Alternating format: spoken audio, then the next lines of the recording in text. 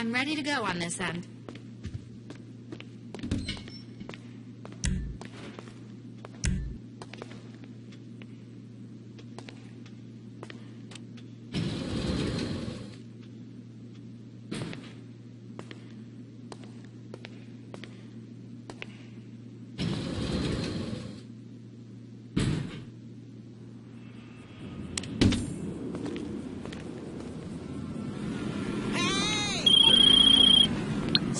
This car is being used in a stunt on a movie set. Head over there and take the car. But look out, you probably won't be able to get out unless you complete the stunt yourselves.